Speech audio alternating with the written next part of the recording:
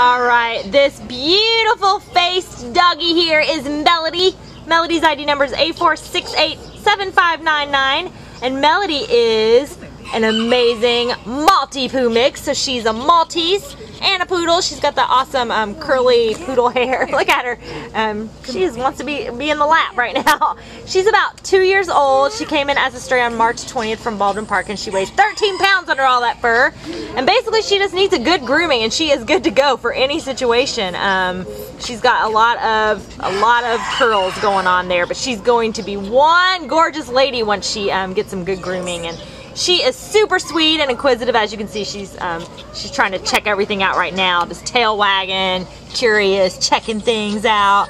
Um, she's shown signs of being housebroken. She's been good on a leash. She's good with other dogs. Um, she sits nicely. Right now she's being a little fun and playful, but earlier she was sitting very nicely and being very attentive and listening well. So um, she's gonna fit in perfect in any situation. She's gonna be good for an individual or a family and a house or an apartment. Um, she will just be a fit in any kind of situation kind of gal and um, just with some love and some grooming going to be a perfect dog for your home. So come on down and meet Melody at the Baldwin Park shelter and she would love to go home with you today. Right, Melody? Look at that face. Oh, yeah. Aww.